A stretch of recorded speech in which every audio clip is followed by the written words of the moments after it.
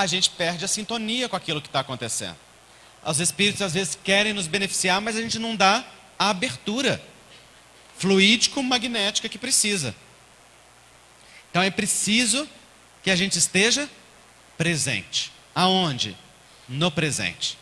Naquilo que está acontecendo, no agora. Me lembro de uma situação lá na casa espírita, em que numa reunião de tratamento espiritual, os espíritos se prepararam para realizar uma cirurgia muito delicada em um jovem que estava em tratamento de tumor cerebral.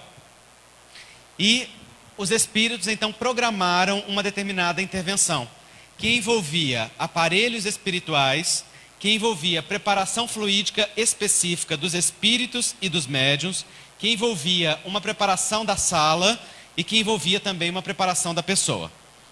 No entanto, foi dito para aquela pessoa para ir todos os dias de tratamento já com a preparação pronta. E então, num determinado dia, os espíritos iriam intervir. Num determinado domingo, os espíritos se prepararam para fazer aquela cirurgia. Estavam presentes Dr. Bezerra de Menezes, Dr. Joseph Gleber, Dr. Dias da Cruz e vários outros espíritos com alta capacidade de conhecimento intelectual e moral. Naquele dia, o enfermo resolveu não ir ao centro, porque estava chovendo. Ele disse: Ah, não, hoje eu estou com preguiça, vou ficar em casa. E ao final da reunião, o doutor Bezerra disse através de um dos médiuns: Aquilo que nós, com tanto esforço, preparamos para hoje, não será possível repetir tão cedo. A pessoa perdeu a oportunidade de uma melhora por preguiça, por falta de compromisso consigo mesmo porque não manteve a disciplina.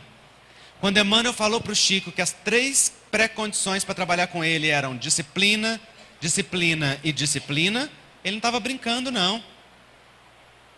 Ele estava falando de algo que era profundo. Às vezes as condições para o socorro espiritual, gente, demoram anos. Às vezes o amadurecimento para o socorro espiritual demoram vidas. Às vezes demoram séculos.